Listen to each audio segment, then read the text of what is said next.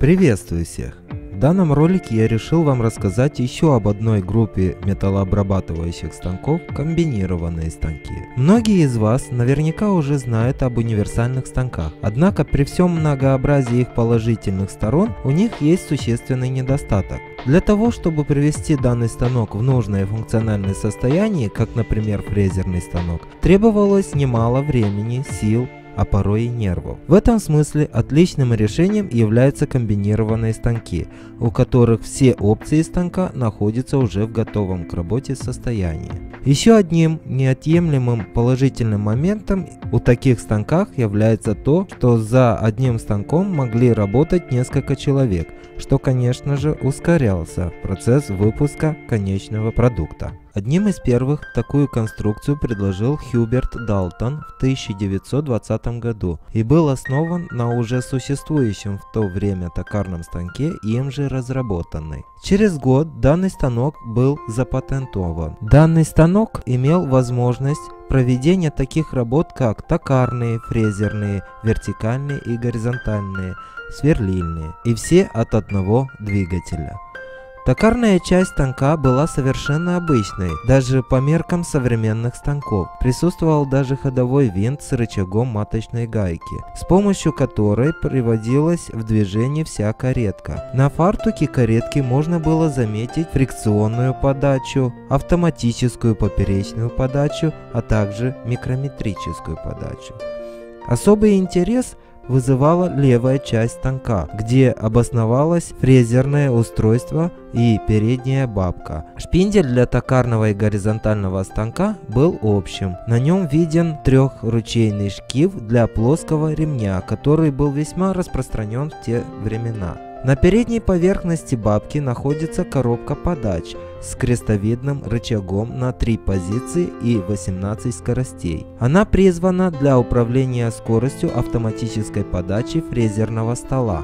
Левее коробки подач расположен рычаг изменения направления вращения ходового винта. Еще левее находятся шестеренки гитары токарного станка. Чуть выше мы можем заметить коробку скоростей для сверлильного и вертикального фрезерного станка на 3 позиции и 18 скоростей. За ней располагается поддерживающая балка, хобот в простонародье, для оправок фрез горизонтального фрезерного станка. Еще выше находится достаточно интересное решение противовес шпинделя вертикальной головки фрезерного станка. Самое верхнее положение занимает косозубые шестеренки передачи крутящего момента на шпиндель вертикальной головки. На передней поверхности под правую руку также располагается рычаг сверлильного станка и рядом винт для зажима шпинделя. Станок на первый взгляд получился достаточно сложным, с большим количеством различных рычагов. Однако, если разобраться, то все понятно и доступно. Чуть позже, в 30-е годы, Австралийская компания Krause выпускает свои версии комбинированных металлообрабатывающих станков UM2 и UM3, которые разительно отличались от предыдущего станка более массивными размерами, а также появлением отдельной вертикальной фрезерной головки на передней поверхности передней бабки. Таким образом, Данным станком могли пользоваться уже три человека одновременно, выполняя различные работы – УМ-3 отличался от младшего собрата наличием также и долбежной головки, что делал данный станок еще функциональнее. Стоит сказать, что в разные годы выпускались разные версии, отличающиеся габаритами, расположением управляющих рычагов, однако общая компоновка основных узлов оставалась всегда одинаковой.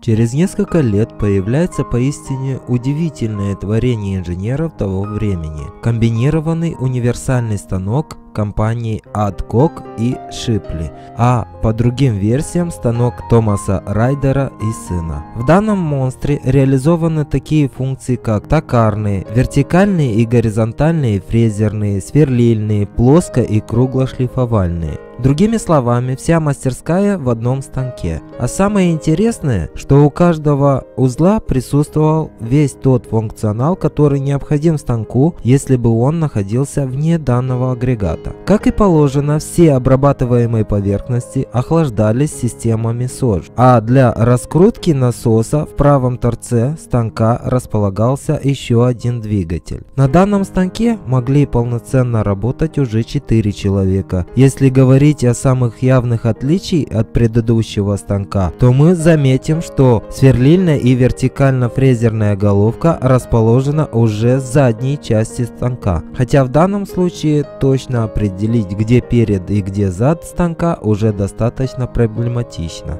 В 1937 году компания Dainichi разрабатывает свой комбинированный станок DL6, который был окончательно доработан в 1952 году. Он отличался более массивными размерами и современными технологиями изготовления механизмов коробок передач и коробок подач. Основной акцент при изготовлении данного станка ставился на токарный, который занимает основную часть площади станка и фрезерный, как вертикальный, так и горизонтальный. А на этом все. Спасибо за внимание. Всем пока.